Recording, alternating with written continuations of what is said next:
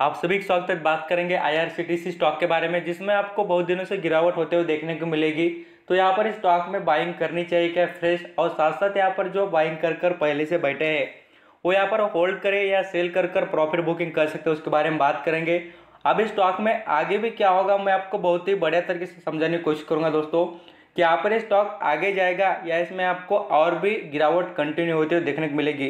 सभी चीज़ें यहाँ पर देखेंगे टेक्निकल बेसिस पर और साथ साथ फंडामेंटली बेसिस पर भी बात करेंगे। अब देखिए, यहाँ पर आपको फ्राइडे की क्लोजिंग बताना चाहूँगा स्टॉक की। आप इस बात को समझना कि स्टॉक ने अच्छी खासी यहाँ पर गिरावट के बाद में थोड़ा यहाँ पर कम क्यों किया है।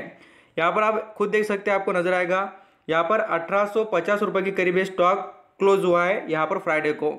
स्टॉक ने यहाँ पर गिरावट देखेंगे कंटिन्यू तो यहाँ पर कितना है तो यहाँ पर आपको बताना चाहूँगा अठारह के भी नीचे, यहाँ पर सत्रह सौ नव्वद, सत्रह सौ अस्सी के करीब स्टॉक चल चुका है, नीचे आ चुका है। तो इसने बाद में से कम करके दिखा दिया है। अभी यहाँ पर स्टॉक में आपको बताना चाहूँगा, इतना अच्छा कम क्यों आया है?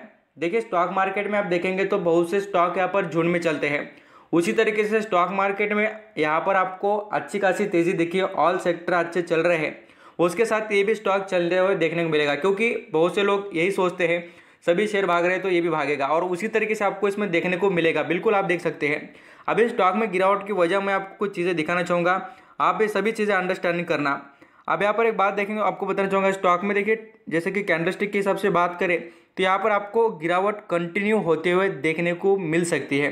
अब वो क्यों? मैं आपको वो बताना चाहूँगा। देखिए कोविड नाइन्टीन का जो इम्पैक्ट हो रहा है, यहाँ पर अदर जो स्टेट है उसके बारे में तो यहाँ पर न्यू केसेस जो है, अच्छे खासे यहाँ पर बढ़ते हुए नज़र आ रहे हैं। इसका असर आप कहूँगा प्रेशर बन रहा है आर पर। क्यों? क्योंकि स्टॉक का जो बिज़नेस है, वो ट्रांसपोर्ट का है। यहाँ पर ट्रांसपोर्ट का बिज़नेस पर इम्पैक्ट क्योंकि देखिए ट्रेन पहले भी उसमें ट्रेन से रिलेटेड जो इशू थे, आप सभी जानते हैं कि लॉकडाउन लगा लॉकडाउन की वजह से ट्रेन बंद हो गई और बाद में से स्टॉक में आपको गिरावट दिखी है। और ऐसी सिचुएशन और भी क्रिएट हो गई तो इनका बिज़नेस बंद ही हो रहा है ना। इनकी कमाई जो है पूरी तरीके से ट्रांसपोर्ट पर ट्रेन पर है ना। तो यहाँ पर सभी बिज़नेस इनके बंद होते हुए देखने को मिलेंगे। इस वजह से प्रेशर बन रहा है। जैसे कंपनी के बिज़नेस बंद कंपनी का परफॉर्मेंस कंपनी के रिटर्न कंपनी का जो आप देखेंगे रिज़ल्ट वो भी खराब आते हुए देखने को मिलता है। इस वजह से सभी चीज़ें इम्पैक्ट करती है। तो इसी का असर स्टॉक में आपको गिरावट भी कंटिन्यू होते हुए देखने को मिलेगी। अब मैं आपको वो भी चीज़ें दिखाऊँगा। गिरावट कंटिन्यू कैसे होगी, देखिए। जैसे जैसे यहाँ पर इसके जो नंबर ऑफ़ यहाँ पर आप देखेंगे, जो केसेस बढ़ते हुए नज़र आएँगे मार्केट में, और जैसा प्रेशर बनेगा मार्केट में, यहाँ पर हम देखें ग्लोबल मार्केट पे भी, और साथ साथ इंडियन मार्केट पर तो यहाँ पर ये भी स्टॉक आपको गिरावट दिखा सकता है।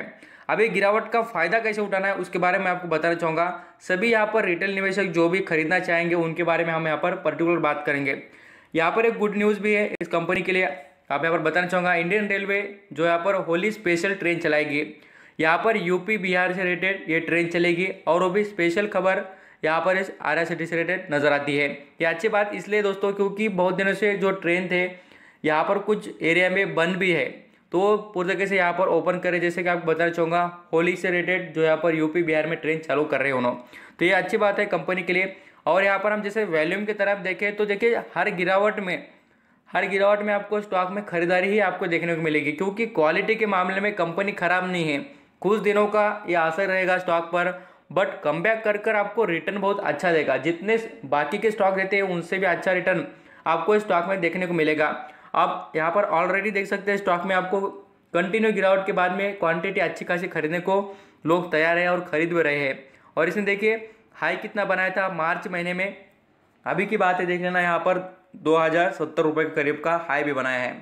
ये भी बात समझ में आती है कि जैसे जैसे गिरावट हो रही है स्टॉक में, वैसे वैसे इन्वेस्टर खरीदने की कोशिश कर रहे हैं। और पाँच दिन के, जैसे परफॉर्मेंस की बात करें तो पाँच दिन में स्टॉक ने आप देख लेना कितना निगेटिव परफॉर्मेंस करके दिखाया है। ये प्रेशर पूरी तरीके से, ग्यारह से लेकर बारह परसेंट तक का इसमें आपको करेक्शन देखने को मिला है। और रुपीज़ में देखेंगे दो सौ रुपये के करीब, दो सौ चालीस या दो सौ तीस के करीब स्टॉक गिरा भी है। तो इसमें एक एडवांटेज की बात है इन्वेस्टर के लिए कि वो इतने अच्छे लेवल पर खरीदारी करना आपके लिए अपॉर्चुनिटी दोस्तों। और मैं आपको कहूँगा, ऐसे अपॉर्चुनिटी को आपने कभी भी भूलना नहीं चाहिए। एक खास चीज़ है स्टॉक में कि ये कम उतने ही तेज़ी से करके दिखाता है। आप यहाँ पर आज देख भी सकते हैं, मैं आपको बताना चाहूँगा, जैसे कि फ्राइडे की इसके बाद तो यहाँ पर देखिए इसने कितना छः परसेंट का रिटर्न दे दिया और एक सौ पर शेयर पर दौड़ चुका है। तो इसी तरीके से ऐसे स्टॉक में आपको कभी भी गिरावट दिख जाए, आग बंद कर कर आप इसमें खरीदारी कर सकते हैं। आपको बताना चाहूँगा, ज़बरदस्त तरीके से आपको बेनिफिट होगा स्टॉक में।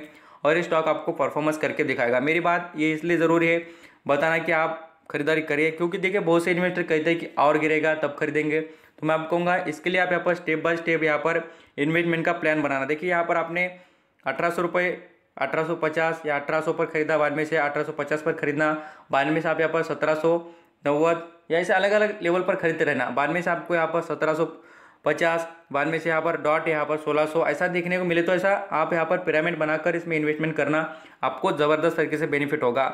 जो प्रॉपर तरीके से इन्वेस्टमेंट करते हैं, उनको फ़ायदा ही होता है और आई होप मुझे लगता है कि सभी चीज़ें देखकर आप समझते होंगे कि आपको आई में फ़ायदा ही होगा। थैंक यू सो मच आपका कीमती देखकर सभी इन्फॉर्मेशन सुनने के लिए। Thank you